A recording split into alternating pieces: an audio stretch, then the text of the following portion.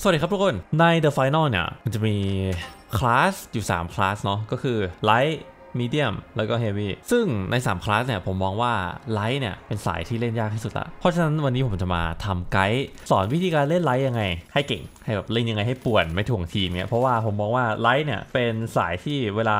ผมเจอคนในทีมเนี่ยกดมาแล้วผมแบบเริ่มตั้งยีใจละเฮ้ยไอ้นี่มันเป็นงานปะวะ เพราะว่าผมมองว่ามันเป็นสายที่มีโอกาสให้พลาดน้อยอะเพราะว่าเลือดมันน้อยที่สุดในบรรดาทั้ง3คลาส โดยที่ light เนี่ยมีเลือดแค่150 medium ก็จะมีเลือด250เนาะส่วน heavy ก็มีเลือด350 แต่ก็แลกมากับความที่สาย light เนี่ยยิงแรงสุดป่วนสุดวิ่งไวสุดตัวเล็กสุดก็มาเริ่มเลยดีกว่าว่าสาย light เนี่ยเล่นยังไง ถึงจะป่วนถึงจะเทพ แล้วส่วนตัวเนี่ยผมเป็นคนที่เล่นสาย light เป็น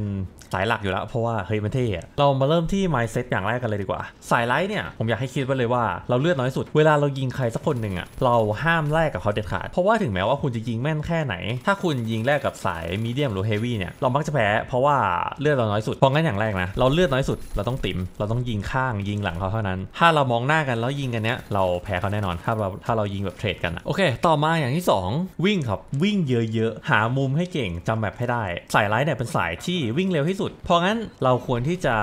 ศึกษาแมปและเราต้องรู้แมปให้ได้มากกว่าตัวอื่นกว่าสายอื่นแน่นอนเลย เพราะว่าเราต้องใช้ความเร็วของตัวสาย light เนี่ยให้เป็นประโยชน์ คือถ้าแข่งกันวิ่งในตึกเนี่ย แล้วเราเป็นสาย light ความเก่งของเราก็คือ เราจะโผล่ได้มากกว่าสาย medium หรือว่า heavy แน่นอน แล้วถ้าเราจำ map ได้ หามุมเก่ง เราก็จะจะเซอร์ไพรส์ได้เยอะ เพราะงั้นเรื่องการเคลื่อนที่การเคลื่อนไหว การจำ map สาย light เนี่ยต้องทำการบ้านตรงเยอะๆสำหรับพวก gadget ต่างๆ ผมแนะนำให้ไปลองเล่นใน custom game แล้ว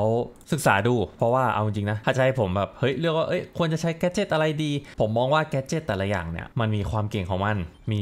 การพลิกแพลงในสถานการณ์ต่างๆ เล่นกับทีม สมมติว่าทีมเรามีคนเล่นระเบิดไฟแล้วเงี้ยเราก็ไม่ต้องเอาระเบิดไฟไปก็ได้เพราะระเบิดไฟมันใช้เคลียร์แก๊สเนาะก็แล้วแต่ว่าทีมเราเนี่ยเล่นเล่นยังไง หรือว่าถ้าเราเล่นโซโล่ แกจิตต่างๆ ที่เราใช้ก็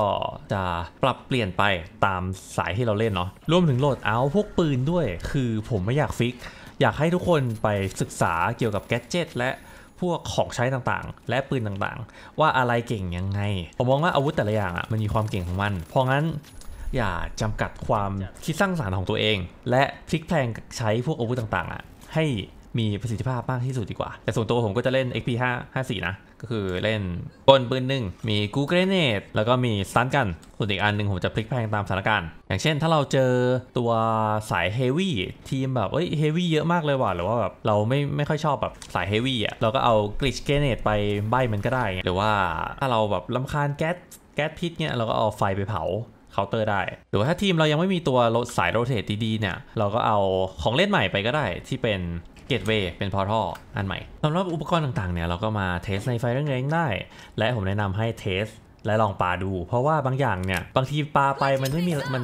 มันยังไม่ใช่ระยะที่มันจะระเบิดเนี้ยมันก็จะไม่ระเบิด เพราะงั้นผมแนะนำให้ลองไปปาเล่นดู จะได้รู้ว่าเราต้องปาระยะไหนปายังไงเราต้องปาชิ่ง หรือว่าปาแล้วมันระเบิดเลยระยะไหนเท่าไหร่ ก็ลองเล่นในไฟเร่งๆดูได้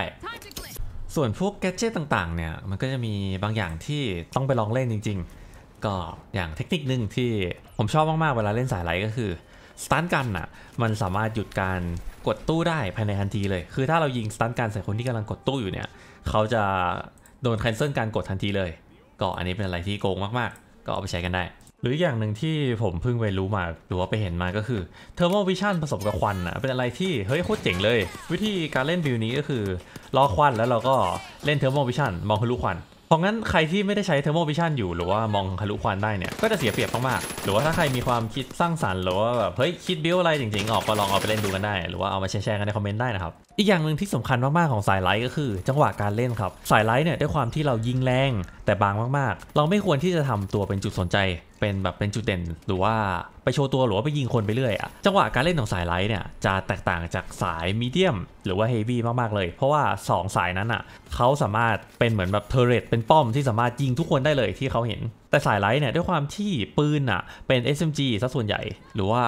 ปืนหลักๆที่จะเล่นกันจะเป็นปืนที่เน้น time to kill สูงหรือว่าฆ่าคนได้เร็ว เพราะงั้นสไตล์การเล่นมันจะเป็นแบบโผล่ไปยิงให้เขาตาย หรือว่าจบภายใน mag เดียวหรือว่า2 mag แล้วเราจะหายตัวไป คือเราจะโผล่มารูดแรงๆเลยทำ damage แรงๆแล้วเราก็จะหายไปครับ เราจะไม่ได้ยืนยิงยาวๆเหมือนสาย heavy กับ medium เพราะงั้น timing การเล่นก็จะแตกต่างกันออกไป อันนี้ก็เป็นอีกสิ่งหนึ่งที่สำคัญมากๆมันจะเป็นเหมือนเราเฮ้ยนักฆ่าเราออกมาฉึกเดียวแล้วเราก็หายตัวไปเงี้ยคือบางทีเราไม่จำเป็นที่จะต้องฆ่าเขาให้ได้ก็ได้นะ คือรูดเขาแรงๆให้เขาแบบล่กอะให้เขาแบบตกใจแล้วแบบเฮ้ยไอ้เชี่ยสาย light มันอยู่ไหนวะเงี้ยแล้วเราก็ออกมาก็ได้อย่าโลภครับ อันนี้เป็นอีกสิ่งที่สำคัญมากๆอย่าโลภเพราะว่าผมเห็นหลายคนแล้วที่ยิงไปแบบ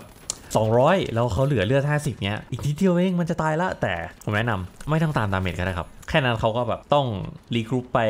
หรือว่าเขาต้องไป reposition ให้ตัวเองอยู่ในจุดที่ปลอดภัยแล้วเราเราจะได้โอกาส เน้นกดดันอย่าโลภเกินไป เพราะว่าถ้าเราพลาดเราตายเลย อย่างสุดท้ายละมั้ง position ครับ position ของสาย light เนี่ยเราจะอยู่รอบนอก หรือว่าจะวิ่งอยู่รอบๆ เราจะไม่ไปยืน point เพราะว่าถ้าเราไปยืน point เนี่ยมันจะเป็นเหมือนการบอกตำแหน่งเราว่าเราอยู่ใน point แล้วมันก็จะมาเข้าเข้าไปยิงเราแล้วเราเราก็จะตัวแตกแบบง่ายๆเลยเพราะงั้นพยายามอยู่ในจุดที่ พร้อมที่จะหนีพร้อมที่จะเปลี่ยน position ไปยิงศัตรูดีกว่า เน้นเซอร์ไพรส์อะครับ ส่วนเรื่องการกดตู้เงิน ถ้าเราไม่ได้มีจุดที่ปลอดภัยจริง ๆ หรือว่าใช้ความตัวเล็กของเราให้เป็นประโยชน์เนี่ยผมไม่แนะนำให้กดเพราะว่าเราสามารถโดน beam ตัวแตกได้อย่างรวดเร็วเลยเวลากดเงิน เน้นให้พวกที่เลือดเยอะเนี่ยกดดีกว่า คือถ้าเราไม่สามารถฆ่าทีม คือถ้าเราไม่สามารถที่จะกำจัดทีมศัตรูให้เหลือแค่คนเดียว หรือว่า team wipe ได้เนี่ยไม่ค่อยแนะนำให้กดเท่าไหร่ ก็เท่านี้แหละครับ แล้วถ้าใครอยากพัฒนาหรือว่าอยากหา reference ก็เปิดสตรีมเมอร์ดูก็ได้ใน Twitch หรือว่าหาคลิปใน YouTube ดูช่วยได้เยอะครับจะได้แบบจับแนวทางว่าเอ้ยสาย Light เขาเล่นกันอย่างนี้นะเล่นประมาณนี้ขอให้โชคดีครับไว้เจอกัน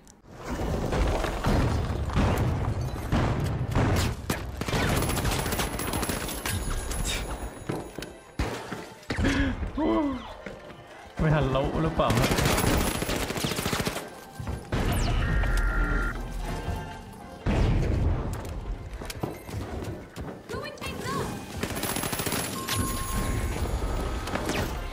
มุมอร่อยมากเลยวะเนี้ยมุมอร่อยอร่อย